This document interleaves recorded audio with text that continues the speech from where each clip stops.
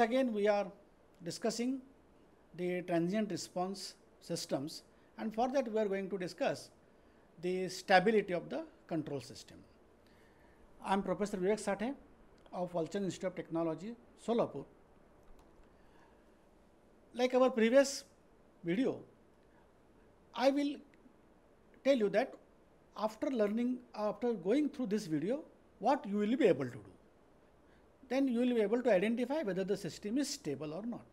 See, this is very important because as a control engineer, first of all, you must know that whether the system is stable or not. And if it is stable, no problem. You must know that where the particular say instability or stability zone is present. And if it is not, how we can make it stable.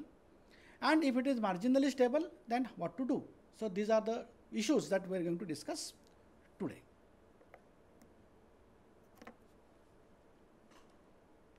Okay. So in the last module, we have seen that if my system is, that is a characteristic equation is a polynomial of degree 2 or degree 1. Forget about degree 1 because degree 1 is always with a simple that is x, s plus 2, s plus 3 is equal to 0 is going to be stable provided both have got same signs. Now see here, if I write s plus 4 is equal to 0. Now this is a polynomial of degree 1. Now in this, this is the degree 1 and a constant term that is degree s raised to 0. So all the terms are present. So it is a complete polynomial and coefficient is positive here and positive here. So this system is guaranteedly stable because its value is equal to minus 4 which is on the left hand of the s plane. So we are we are looking at this left side that is the s plane where the system is going to be stable. And we also mentioned that when my equation is a quadratic equation that is x square is equal to 5s plus 6 is equal to 0 and if it is a complete polynomial and coefficients are having similar sign that is positive positive and positive then system is guaranteedly stable. Now guaranteedly stable has got another name which is called as asymptotically stable. Asymptotically stable means that we are going to discuss in detail in our root locus say videos and you will come to know that asymptotic stability means the root locus will not cross this imaginary line. So it will say be moving in this fashion on this side, it will never come to the right side. That is called as asymptotic stability. And that system is always say better because we know that system is not going to become unstable or marginally stable at any value of parameter that we change. Because system parameter that we can change in our control architecture are either k, gain, or it is omega. So there are two variables that we can change and for that different methodologies are there. Means if you change k value, that is variable is k there, that is given to us, we call it as a root locus. And when we change omega from 0 to infinity, it is called as Bode plot.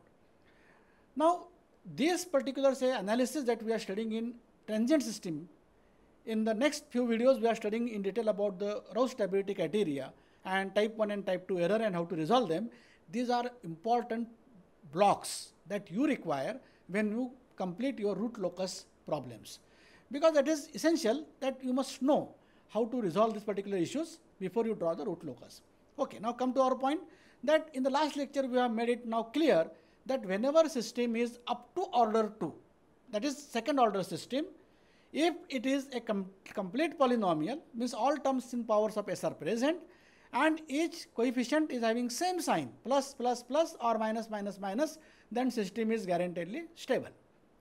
Now today we are taking another case in which there is a quadratic sorry cubic equation. Now see this is a cubic. So I written a cubic s cube plus s square plus 2s plus 8 is equal to 0.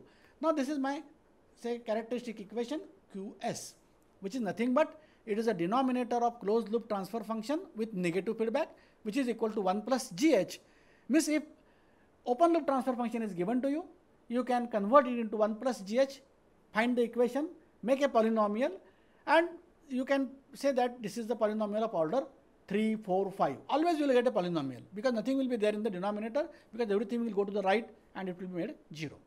So always remember this is a polynomial of nth degree but today we are taking it only up to cubic, cube, say cube equation.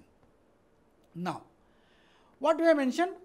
First thing is always remember mathematically, whenever we make any comment, mathematics is very particular. It says that you tell me first necessary condition.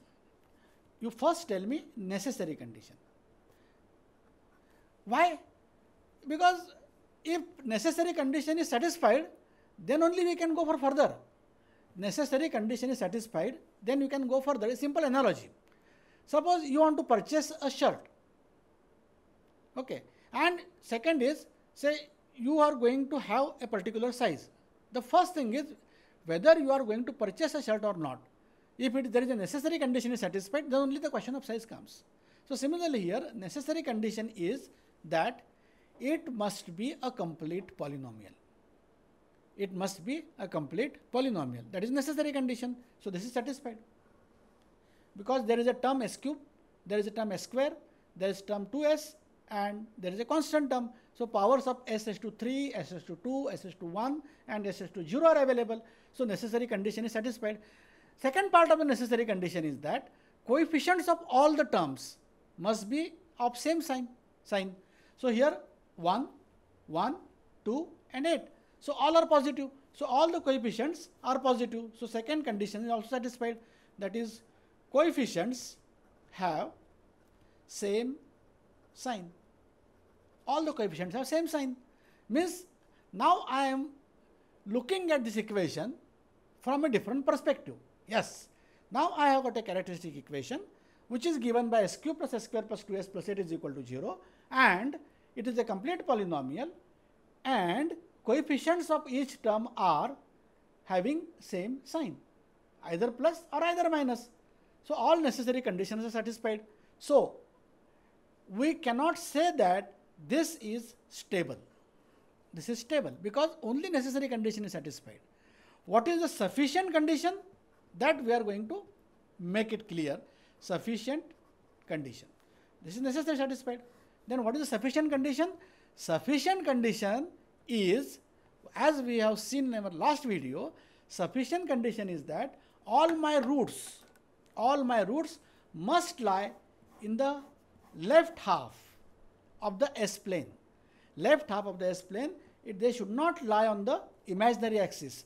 So it, it, should not lie on this, but it should be on the left side of the imaginary axis. Okay, means if this necessary condition is satisfied, there are two conditions. One is it must be a complete polynomial, yes. Then all the coefficients must have the same sign, yes. So check it. First check, we make it complete polynomial, okay. So I will write here, it is a complete polynomial, complete polynomial satisfied. Then second check I will make whether all the coefficients have the same sign. So I will write here same sign for all coefficients satisfied. So necessary conditions both are satisfied here. Now the question is what is the sufficient condition? Sufficient condition is that all roots must be on the left hand of the S plane. Now if I ask you a simple question, what are the possibilities of the root of this cubical equation? There are three roots, S1, S2 and S3. S1, S2 and S3. I am not going to calculate roots right now. I am just making a prediction. What are the possibilities?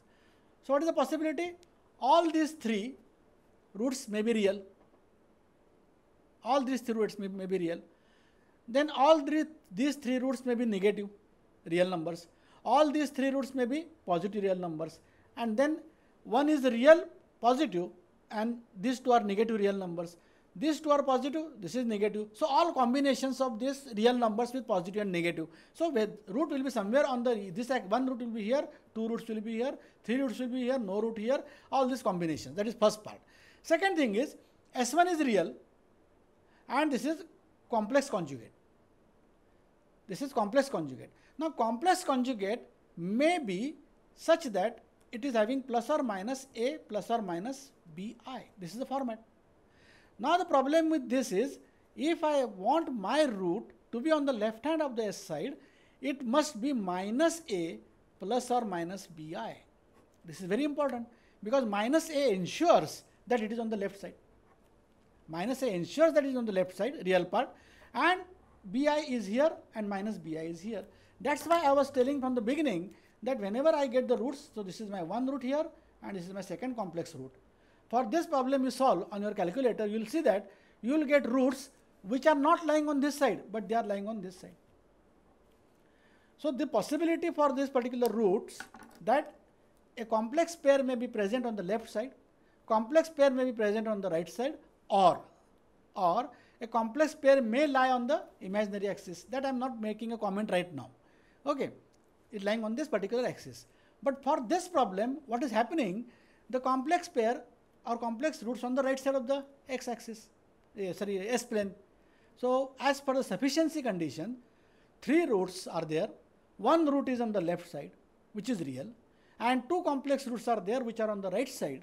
They are placed here as a complex conjugate. So sufficiency condition is not satisfied. So when necessary condition is satisfied, but sufficiency condition is not satisfied, system is unstable. So without any doubt, you say that system is unstable because I have got three roots. One root is real, which is on the left side, negative number, and two values are complex conjugates and the real part is positive, so they are coming on the right side. But suppose I have got, suppose I get these roots on the left side and real number here, the system is stable because all your roots are on the left hand side. Forget about whether it is a complex or not, that is immaterial. My root is lying on the entire this left plane.